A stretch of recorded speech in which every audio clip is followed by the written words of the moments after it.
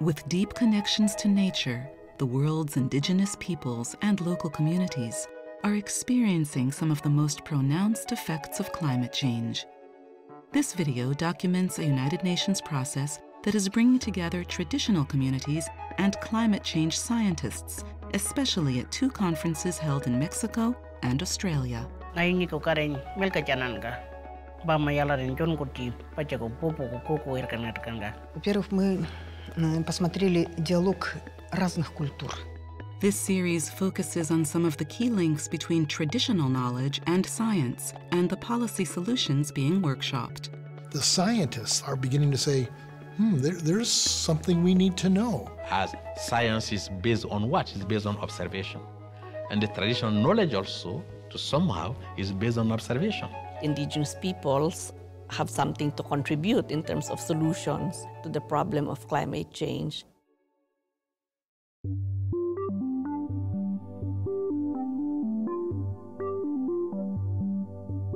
Energy supply accounts for almost 26% of global greenhouse gas emissions.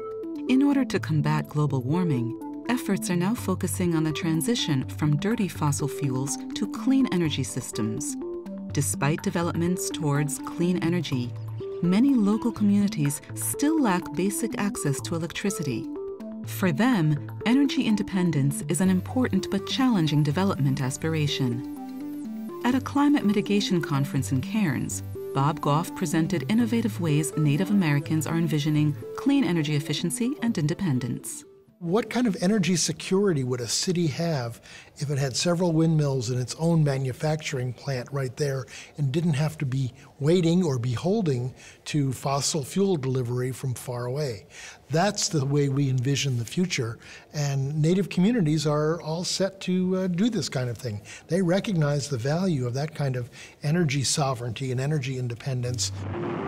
Explosions rocked the canyon almost daily for two years. Conference discussions showed how many energy projects lack respect for land rights and fail to support community development. If you don't know where the reservations are in the Dakotas, look for the dams and look upstream. Tribes never got the dams, what they got were the reservoirs. Dams that were built for flood control, if you're an Indian, mean that you get the reservoir, you're permanently flooded and someone else is in control. Speaking at a meeting on adaptation in Mexico, Felipe Marcos Gallego told of how 12 Guatemalan dams are being built without negotiation with the local Ichil peoples. Nosotros sabemos que las hidroeléctricas son tecnología limpia, sin embargo, cuando los beneficios no son distribuidos equitativamente o cuando la gente no participa en los beneficios de las hidroeléctricas, ya sea en términos directos, que nos quede la electricidad a bajo precio o que, digamos, eh, se retribuya económicamente el papel que juegan las comunidades indígenas en la protección del bosque, generación del agua y en las partes bajas hidroeléctricas. As the framework for the green energy economy emerges, indigenous and local communities are positioning themselves to assert their rights, attract investment, and initiate culturally appropriate clean energy solutions. With this next round of energy development in the Great Plains, which was looking to be wind power, the tribe said we would like some say in what happens, at least on the reservations. Any one wind project doesn't have a capacity value because the wind is here and then it goes on, and we call the wind intermittent. The wind isn't intermittent, our collection system is. So if you scatter the collection system across six states, the wind is always blowing somewhere and you can catch it at different places. In the United States, native tribal territories cover only 5% of land area, but have the potential to provide wind energy equivalent to 14% of the total energy production in the U.S. So we want to partner as treaty partners with the federal government on a tribal wind federal hydropower clean energy dynamo. Coupling the two would not only give the region clean energy, but it would also build tribal economies based on renewable energy. Energy independence is increasingly being pursued by some of the world's most isolated peoples. Russian Altai delegates explained how they have embraced the cultural potentials of renewable energies. We are giving opportunity to traditional cultures to lead their traditional style of life having new technology and sources for energy, to have access to internet, light in their houses, stimulating young people to stay in their lands.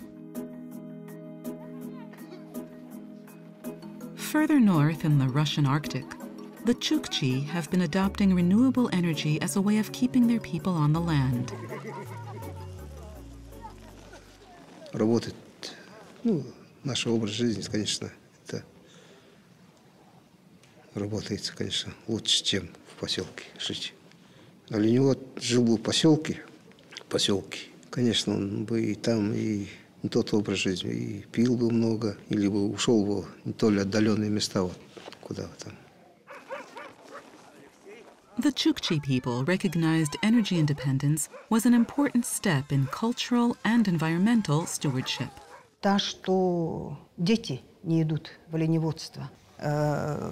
Э, Что, что нужно делать, делать для этого? Это руководство общины Турварген очень часто задумывается, они советуются со старейшинами, они советуются э, с оленеводами, как, как нам быть в этом случае. И вот мы пришли как, как бы к одному и приняли очень важное решение – это внедрение солнечных батарей. To build and sustain the technical and maintenance skills needed for the solar venture, the community collaborated with Barefoot College in India and Arctic NGO Snowchange. The engine for this uh, process is two grandmothers who went from Kolyma into India to be trained as solar engineers.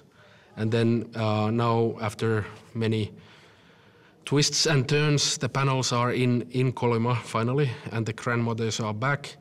And the idea is to solar electrify the nomadic camps and these uh, nomadic schools in the region where they come from. Through energy self determination, Chukchi people are bringing 21st century clean energy living to their lands. Там можно и чайник включить, вот, и детям вот посмотреть вот, музыку послушать, да, радио, телевизор вот в последнее время стали возить ну, такие ноутбуки. Не будут возить за собой несколько, несколько тонн э, бензина. Значит, э, это уже как бы очищение э, земли, очищение тундры.